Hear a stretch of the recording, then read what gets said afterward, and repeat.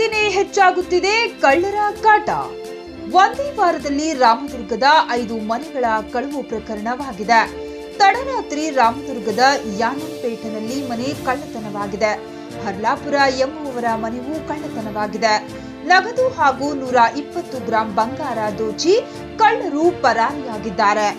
ಸ್ಥಳಕ್ಕೆ ರಾಮದುರ್ಗದ ಪೊಲೀಸರು ಭೇಟಿ ನೀಡಿ ಪರಿಶೀಲನೆ ನಡೆಸಿದ್ದಾರೆ. ರಾಮದುರ್ಗ ಪೊಲೀಸ್ ಠಾಣಾ ವ್ಯಾಪ್ತಿಯಲ್ಲಿ ಪ್ರಕರಣ ದಾಖಲಾಗಿದೆ.